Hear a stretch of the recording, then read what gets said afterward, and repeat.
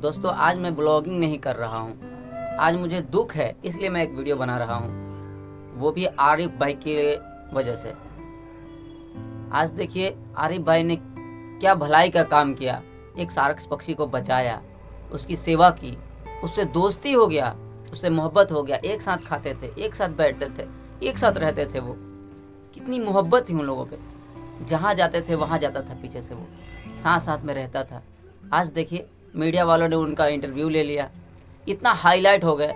अखिलेश यादव पहुँच गए वहाँ पे उनसे मिलने के लिए। और आज देखिए राजनीति में क्या किया। एक दोस्ती को तोड़ दिया। आप ही बताओ यार, कहाँ तक सही है? ये अच्छा लग रहा है। एक मोहब्बत करने वाला इंसान है, जानवर, उसको कैद करके तो नहीं रखा था ना? वो सारस पक्षी को आरिफ ने कैद करके रखा था। नहीं रखा था, उसको आज़ाद छोड़ा था। इतनी मोहब्बत थी, वो जा सकता था कहीं पे, लेकिन फिर भी इतनी मोहब्बत थी उससे। एक साथ रहता था, एक साथ खाता था, एक साथ पीता था। आज वन विभाग वाले उठा के ले गए। क्या? क्या ये सही है?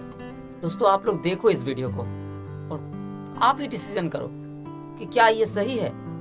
कि एक मोहब्बत को, एक पक्षी से मोहब्बत एक इंसान की हो गई।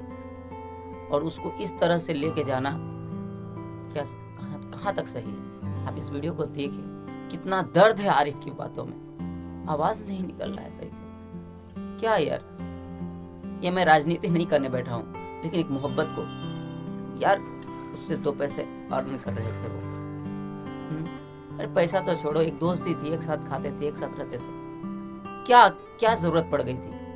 हम्म, आज जिस तरह का काम आरिफ ने किया उस पक्षी के साथ में दिल पे हाथ रख के कहिए कि जिस तरह से वन विभाग ने उनके साथ में किया है क्या आपको दिल करेगा किसी की मदद करने का किसी जानवर की मदद करने का?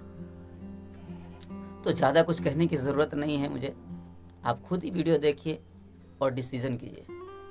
सरकार की तरफ़ से आदेश आ गया कि जो मेरा सारस पक्षी है, मेरे साथ नहीं रह सकता। इसको लेकर जा रहे हैं ऊँचा हार समसपुर बिहार। उसके पीछे पीछे हम जा रहे हैं देखने उस